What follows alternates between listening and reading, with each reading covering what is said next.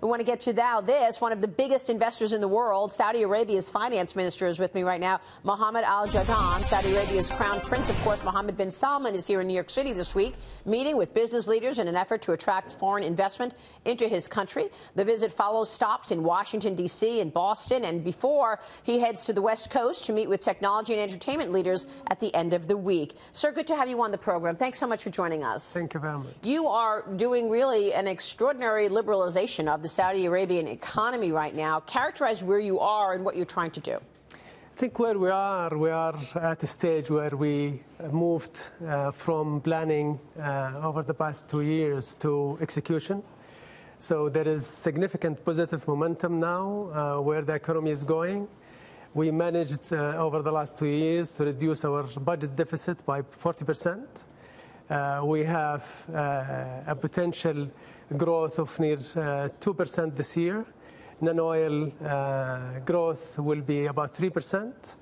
There is wide reform taking place in Saudi Arabia, fiscal, economy, social, legal, regulatory reform. So it's a very wide spectrum of what we are trying to achieve, and there is a lot of momentum now.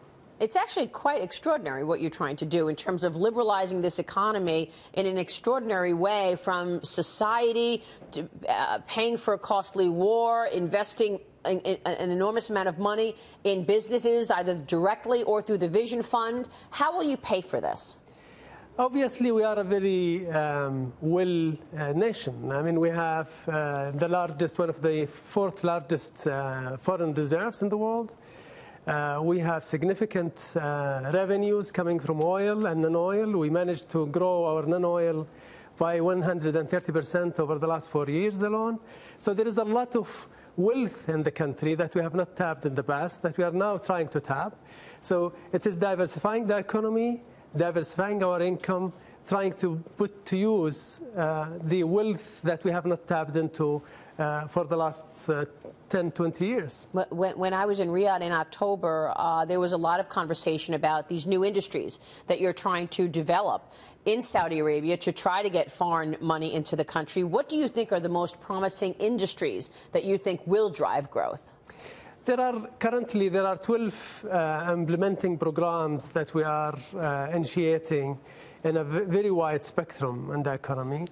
Uh, key elements of these are industries where currently we are importing almost 90% of what we consume.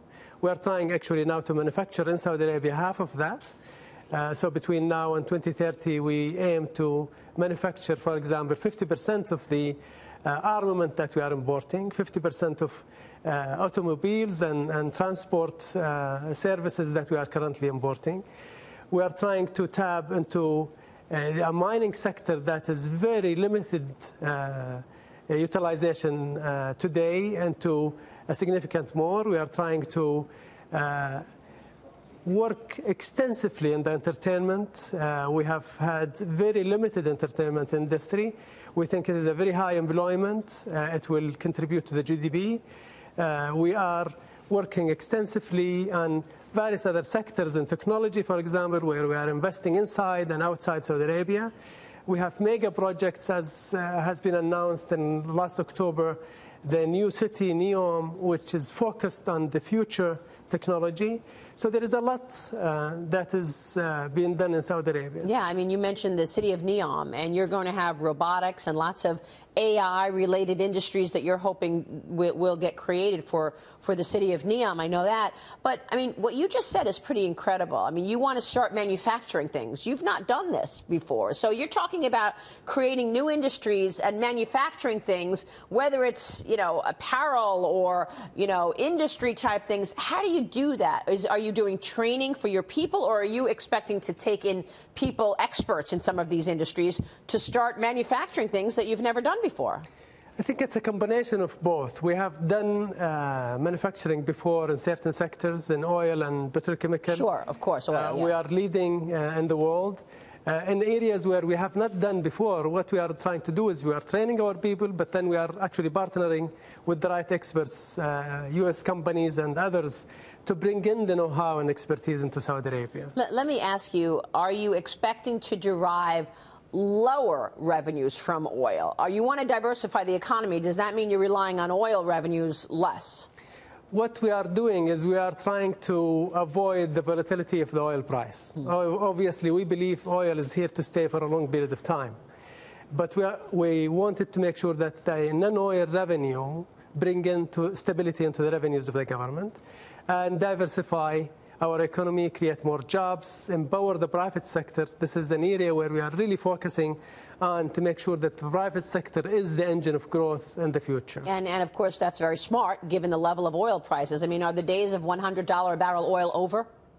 I will not speculate on oil price. I, uh, Uh, longer term, though, you've got a lot of supply in the market. So I guess the expectation is, is that oil doesn't go back to $100. I think, I think generally, if you listen to the experts, and, and the CEO of uh, Aramco was on, on, on TV uh, last night, uh, the, the uh, prediction is that there isn't enough investment today in oil.